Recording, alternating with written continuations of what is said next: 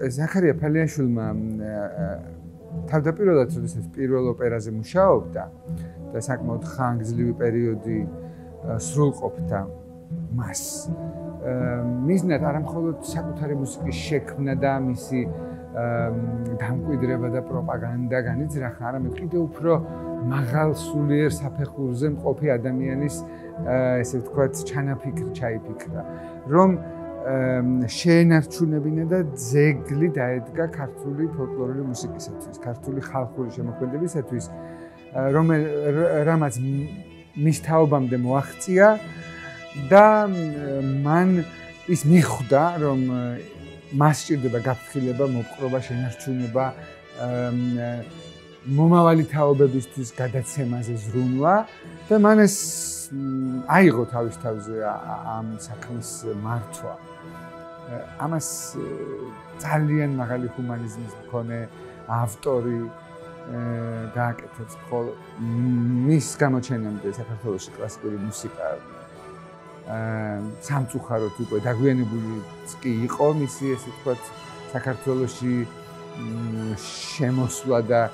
დანერგვა და ჩვენ სისხლსა და ხორცში და დღეს როდესაც ან ვესწრები ან ვიგებ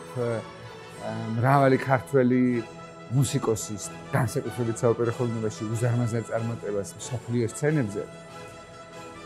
დღეს როდესაც თავადაც მე და ჩემი ეროვნული სიმფონიური ორკესტრი აა მონაწილეობთ საერთაშორისო ფესტივალებში ის რაღაც ხარისხი რომელიც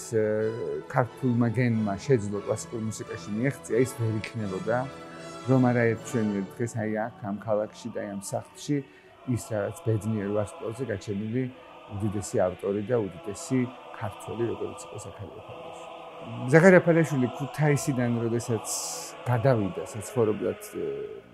დედაქალაქში და იქ ამ უფრო დიდ სივრცეში მულტიკულტურულ პროცესებს ეზიარა აი სწორედ მაშინ მან უწოდა თავის მშობლიურ ქუთაისს ქალაქი ქართული სულით გაჯერებული. და ძალიან ზუსტად მესმის, იმიტომ რომ დღესაც კი ალბათ განსაკუთრებით თბილისიდან მომავალს ყველაზე ზუსტად ხვდები რას გულისხმობდა ფალიაშვილი მაშინ და ზუსტად ესევე დღესაც. ეს არის ქალაქი, რომელიც ყველაზე მეტად არის გაჯერებული ქართული სულით.